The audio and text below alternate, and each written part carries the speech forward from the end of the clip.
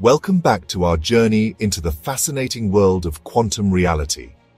In our previous episodes, we explored the foundations of quantum computing, the mysteries of superposition, and the mind-bending observer effect. More importantly, we examined these concepts through the lens of ancient Indian wisdom, what we now call the Vedic perspective. But today we are going even deeper. This is where it gets truly mind-boggling. Terracotta Creation presents Quantum Entanglement, Connecting the Space, Time and Existence. In this episode, we will break down what quantum entanglement really is, compare it to Vedic philosophy, and finally we'll try to find out the answer of the most profound question. What is truly in control? Space, time, the quantum field, or consciousness itself? Let's begin. Quantum entanglement is one of the strangest phenomena in modern physics. It occurs when two particles become deeply connected in such a way that their states remain linked, regardless of how far apart they are. If you measure one particle, the other will instantly take on a correlated state, even if it is light years away. Einstein famously called this spooky action at a distance because it defies our classical understanding of space and time. Normally, we assume that information takes time to travel, but in entanglement, this effect happens instantaneously, faster than the speed of light. This suggests that at a fundamental level, distance may not be real. It could just be an illusion created by our limited perception. I will now give you an example. Imagine you and a friend each take a pair of identical magical dice, but before rolling them, they remain in an uncertain state, showing all numbers at once. Now, even if your friend travels to another galaxy and rolls their dice, the moment they get a number, your dice, no matter where you are, will instantly settle on a correlated number. It's as if the two dice were never really separate, but rather part of the same system beyond time and space. This is what quantum entanglement suggests. Particles don't truly exist as independent objects, but as parts of a deeper, interconnected reality. Now let's turn to ancient Indian philosophy. Thousands of years ago, the Vedas and Upanishads described a concept strikingly similar to quantum entanglement. The idea that everything in existence is interconnected beyond space and time.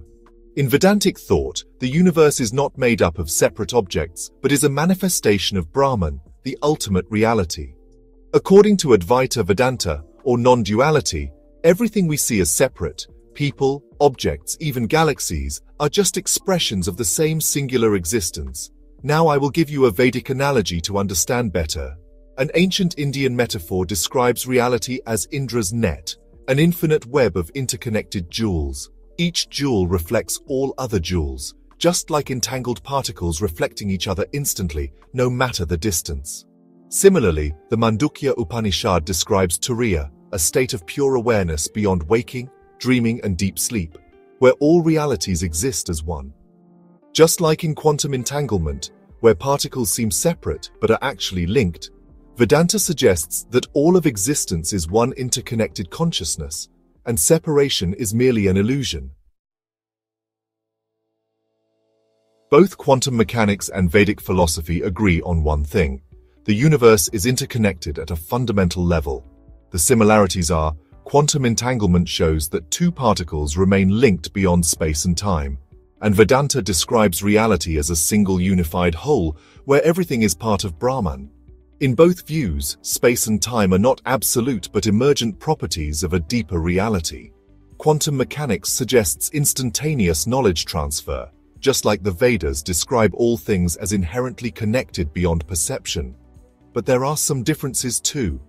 Quantum physics relies on probabilities, while Vedantic philosophy suggests a higher intelligence, consciousness itself, that organizes reality. Quantum measurement collapses possibilities into reality, but in the Vedic view, reality is already whole, and only our perception is fragmented. Science separates the observer from reality, whereas Vedanta sees consciousness or Atman as the fundamental observer creating reality itself. So, what is truly governing reality? Is it purely mathematical quantum laws, or is consciousness itself the missing link in understanding entanglement?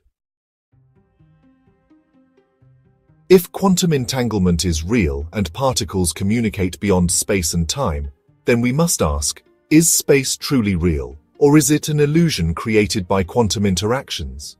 If entangled particles ignore distance, does distance really exist?